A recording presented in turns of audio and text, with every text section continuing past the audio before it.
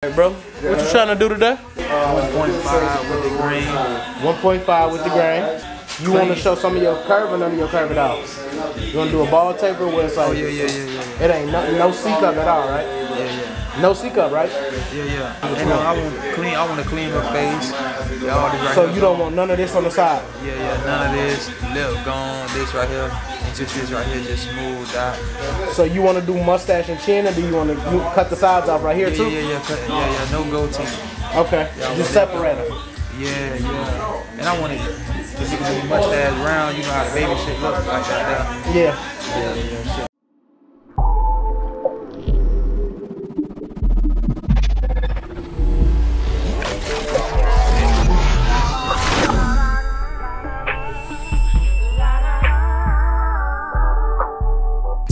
YouTube, what's going on? It's your boy Beam, and today we got a banger. If you want to learn some of the top secrets in the game, you want to learn how to perfect the most crispiest lines in the game, stick through. Please hit a like, kick them feet up. Let's get right to it. Let's lock in.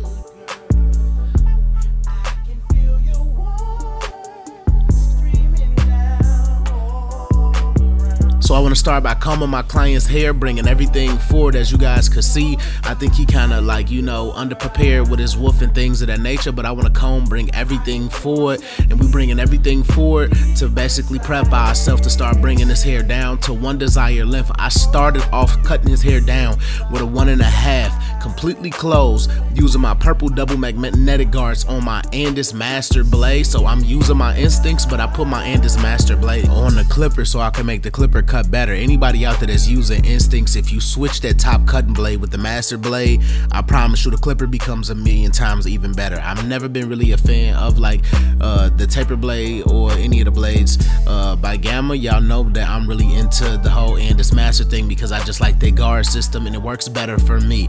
Not saying that the guards for Gamma and uh, the blade isn't good, but it, I just you know always been a Masters fan. It's always been my favorite, you know, uh, guards. So for everybody that's in that comment section, just go ahead, rough through this with me. I switched my guard to a number one, completely open, because I decided let's take his hair down even more. When taking somebody hair down, you want to ensure that you get them a nice length that they can start to create progress and start to make the waves look even better down the line. But also, you want to set yourself up to bring some super nice transitions to the game. And as you guys can see, my client got like one of those lineups where a bunch of the hair overlaps the front of the lineup. So I'm gonna teach you guys some dope gems today. Right now, I want to go in using my Gamma flexes towards the bottom of the C cup area because my client said at the beginning of the video he wanted none of his C cups. He wanted to just be able, you know, to have this area knocked out, but a clean, nice temp fade and a nice high slash low bald taper. So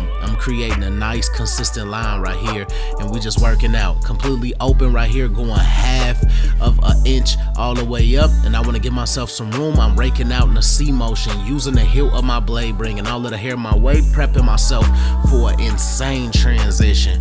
Just taking my time.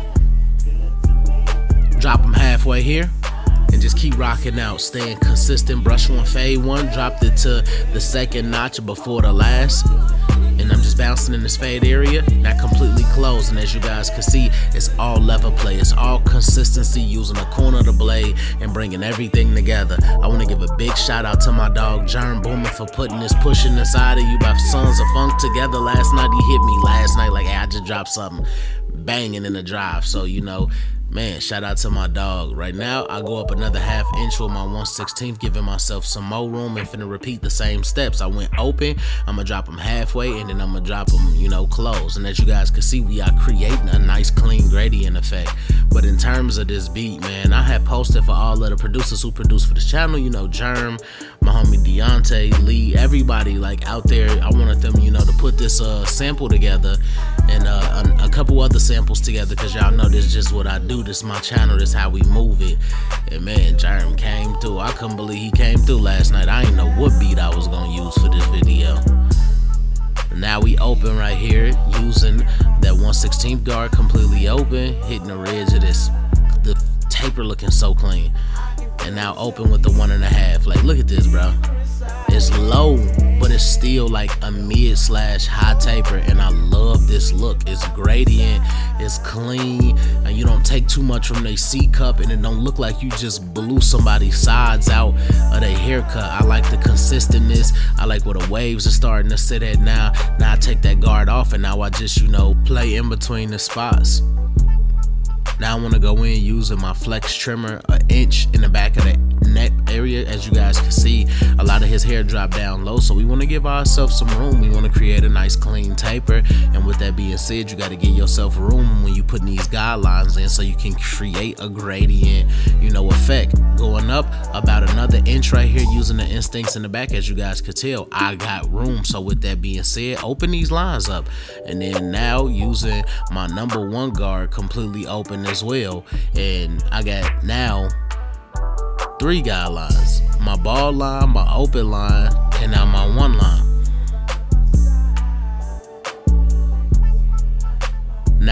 Into my 116th and it's halfway open right here and I start halfway open so I can start to, you know, debulk this line in between my open and my one. It's all about remembering your steps. It's all about knowing your system. It's all about doing the things that make you feel like one when you behind this chair. And I told y'all, you know, a couple videos ago, you know, I done found that place again and I'm focused and I'm locked in. And with that being said, all of my supporters, all of the people that support Beam and what Beam do, uh, I would love for you guys to stay locked in with me. I got some banging footage. I'm talking about, you know, last week we did 10 free haircuts. If you are in the Tampa area, I am giving 10 free haircuts uh, again this week, meaning all of my haircuts will be traded out for content. As long as you're okay with me recording your haircut, all of the haircuts will be completely free. And I'm dropping my email somewhere towards the bottom of the screen now. The only thing you have to do to submit, you know, for a free haircut is to send pictures of the front of your lineup, both sides and the back of your head. From that point on, you just waiting on the email back from me. So anybody that wants a free haircut in the Tampa, Florida area, Orlando, or even if you just coming to visit Tampa or so happen to be into Tampa,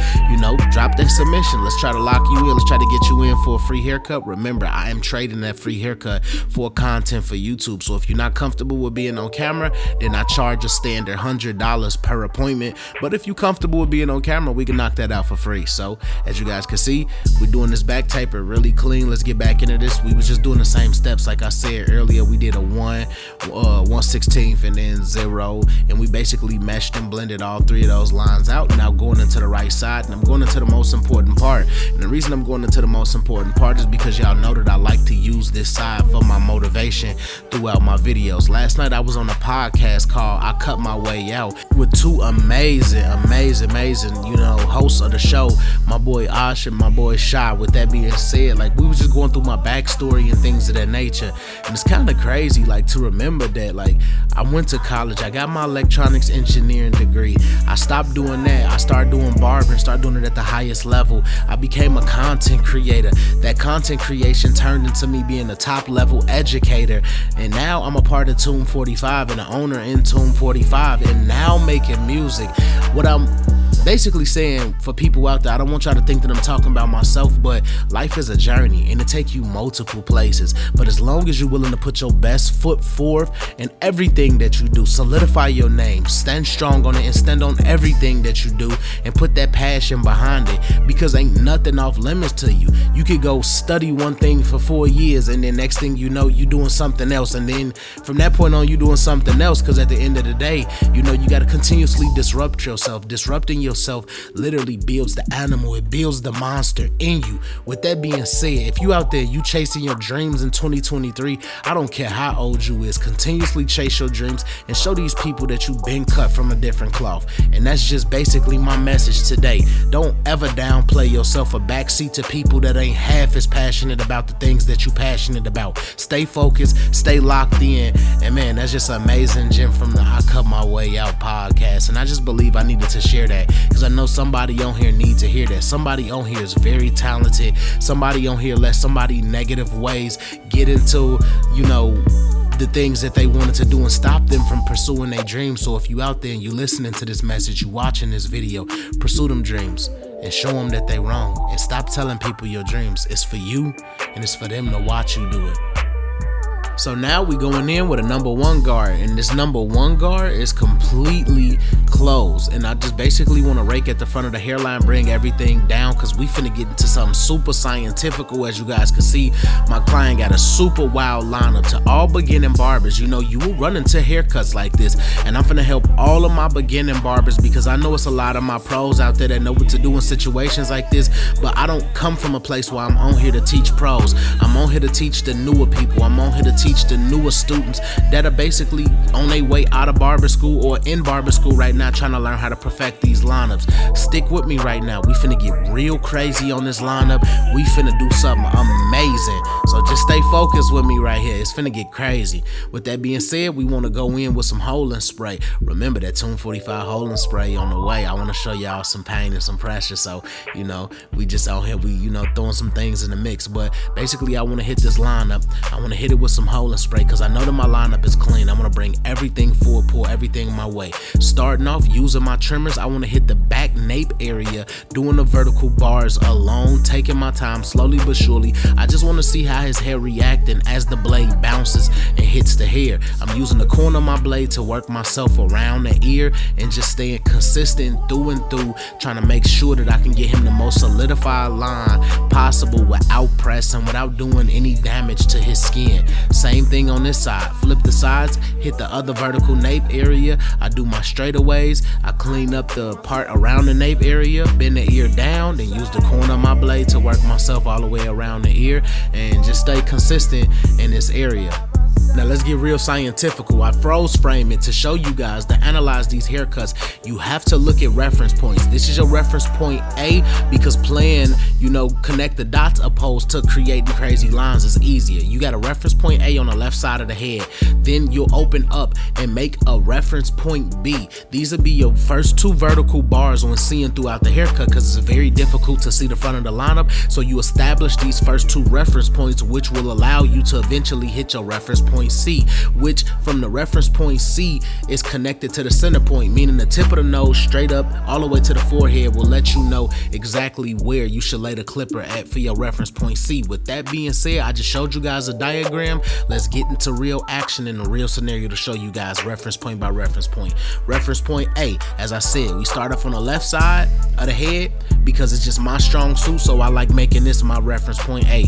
And with that being said, I stamp my reference point A. Reference reference point B, I'm doing the other vertical bar. And I want you guys to see this and really pay attention that I'm doing it like this because he got so much overhang and you don't want one side to be pushed back, the other side not to be pushed back enough. You want the evenness. So with that being said, you set in two big reference points so you can eventually connect them in the middle and get a real clean, crispy lineup. And with that being said, you are ended with this result right here. And I'm gonna freeze frame this as well just for you guys to see it.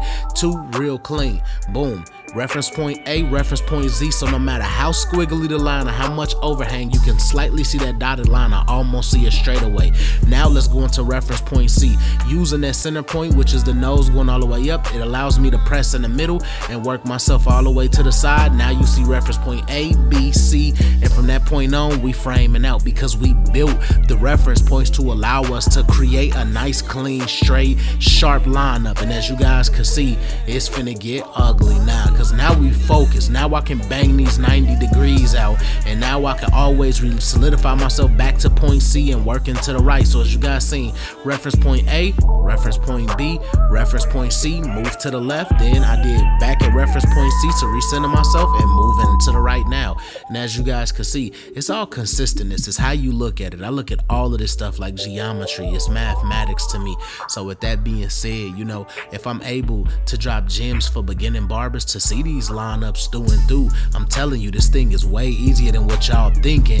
You know, you just haven't put analogies and you haven't put real scenarios with it. My next step, I want to go in using a clutch card, assisting it with my product, the Beam Team Cordless Compressor XL, and our product No Drip. This product is completely waterproof, so we're not worried about the client, you know, hitting the shower or it raining and then knocking the color off because this color was built and designed for the skin and to be waterproof.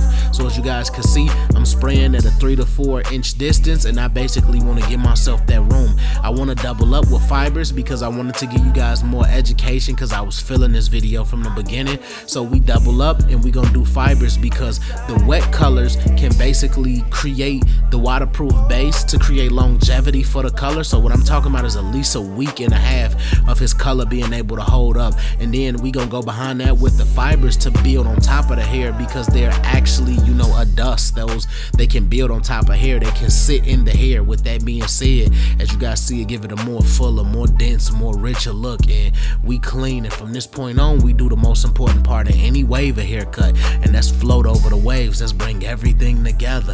That's surf. You know, that's getting that bag. We getting close to that Kodak moment, and you can see it in my eyes, bro. I'm locked in. I ain't paying attention to nothing else but, you know, the objection right here. And the objection is to make sure I get my boy as crispy as possible. And with that being said, y'all know we we we we in that duffel, bro. We in the duffel right now, and it's looking beautiful. And man, this is just it's icy. So I want to go in using my next product, my Tomb 45 Precision Pack Pencil. All of the products for Tomb 45 that I use in this video will be in my description and I will have my discount code at the bottom of it for you guys to get an additional 15% off all of your orders. With that being said, I go back in when my trimmers hit this line because when hitting this line, we are basically concealing this line and giving this line a nice clean contrast between the pencil and the skin and the hairline of this client. And with that being said, look how straight that is. So now we go in, we gonna knock out some mustache and some chin hair work and just, you know, bring the haircut all the way together because we putting the finishing touches on it. You know, we got my dog Icy, the taper clean, the hair laid forward. The line is straight, like it don't get no better than that. It don't get no better. Lean them back, angle that raise at a 45 degree angle, bring everything back to the lineup and staying consistent. Super crispy. Super crispy. Shout out to my dog Germ again. This beat is insane, dog. Insane.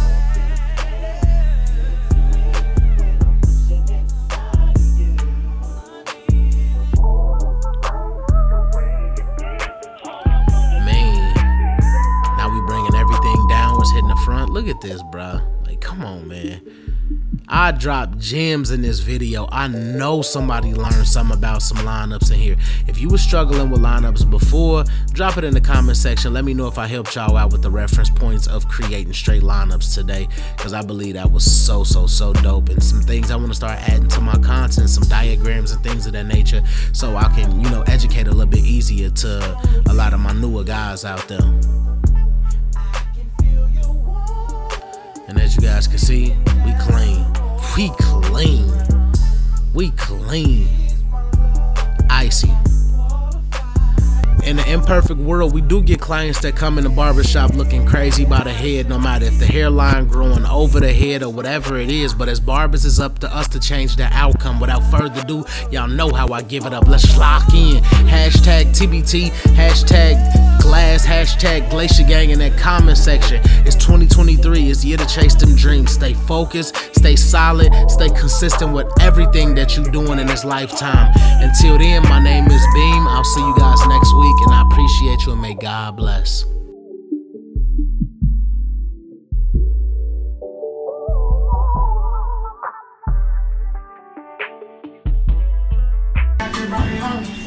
All right, YouTube, as y'all can see, first time client today. Ice my boy, one and a half, clean, low bald taper on both sides, clean lineup. If y'all like this video, please like, share, subscribe, comment, and hit that notification bell to get alerted when new videos come out. Until then, I'm out of here.